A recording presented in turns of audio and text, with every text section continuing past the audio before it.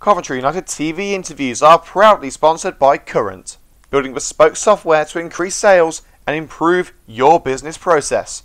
Visit current.it for more information. Well, it's been a successful weekend for Coventry United as a club. The first team are through to the fourth round of the FA Vase, and now the ladies are through to round three of the Women's FA Cup. We're here with Jay Bradford, the Coventry United ladies manager. Jay, tell us your thoughts on today's results.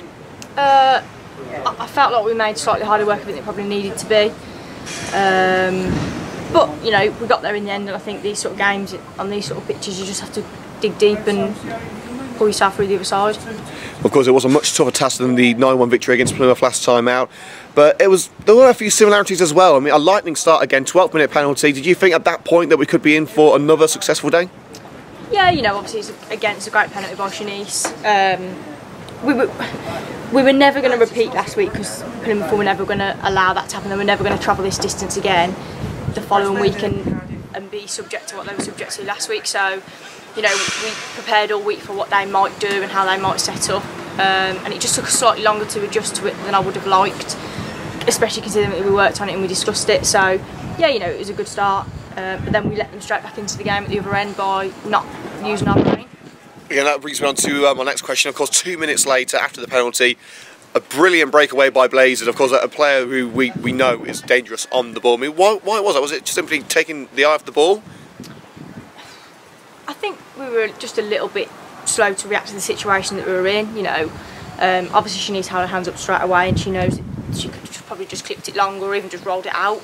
Um, but credit to her, she was trying to play, so you can't be too harsh on her because she is trying to look to find a pass and get us back out. So, you know, it's one of those we've, we've got to learn from it, and we've we've got to have another look at it and, as a group and, and make sure it, it, doesn't get repeated again. But it was a real battle from first minute to 90th minute, and the girls ground out the result in brilliant fashion. I mean, that shows real depth of character, doesn't it? Yeah, and I said this to them at half time, you know, we're being tested now. People are coming here and testing us because, you know, we are still unbeaten. Uh, which, which again, you know, that takes character, and people are going to test that character and push you as far as you can go. And I felt like the second half we came out and we stood up to that challenge. I think we could have questioned it in the first half. We weren't quite at the races, but second half, you know, we came out, we worked hard for each other, played with a little bit more intelligence. I thought Lois was superb. I thought she was exceptional. Um, and then you know, Tash in the middle again, plays how she plays and and kind of dominates the middle for us, which allows people like Shannon and Foremost to then get on the ball and be a little bit more adventurous. I mean, this may be the same Plymouth team as last week, virtually, with very few changes, but this was a completely different performance from Plymouth. What were the core differences between the Plymouth of this week and the Plymouth of last week?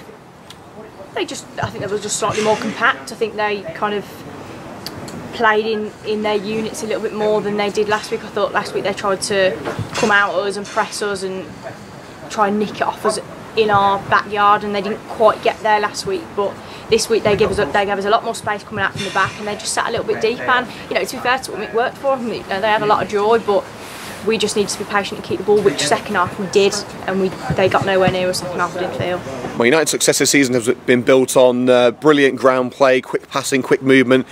It's pretty difficult to do that today on a pitch like this. A lot of rain over the last 48 hours, making for a pretty slippy and heavy pitch. How did that affect the game plan today? We always still want to look to play because that's that's what we do and that's how we play. But there is occasions where just you do need to change that up a little bit. And today we saw that. You know, to, to play on this pitch would have been really difficult. And you know, full credit to for getting the game on because I was very very surprised I didn't get a phone call to say it was off. Uh, but you know, pitch is the same for both teams. You just got to get on with it, and the pitches are only going to get worse going into sort of January time. Of course, it was so close between both sides until the very end. It was only late on when Amy Wathen got the uh, the winning goal from the header. Did extra time penalties ever enter your mindset? Were you preparing for that uh, possibility towards the end? No, not really. Not at that point because we were dominating. I felt we were always going to go on and get the winner, especially with people like Lois playing the way they were, and Amy was getting into some really good positions. And you know, those two again have linked up and scored as the winner. So yeah, at that point, no, I wasn't. I wasn't concerned because we were completely dominating. It was just, it was just who was going to score and when we were going to score. And finally, the last two games of 2018, both cup fixtures against Chichester and Birmingham West Midlands. How do you want to round off 2018? I want to stay unbeaten. That's got to be our aim. You know, we've got high standards and expectations, and we, we have to keep striving to meet them. Um, next week is, you know, that game's probably not going to go ahead because I know Chichester did play today, so I think their FA Cup game will take priority. So Whether another game gets put in, I don't know. We'll have to see. But yeah, we, we want to finish on a high. We want to finish unbeaten. Well, congratulations, Jay, and thanks for your time. Thank you.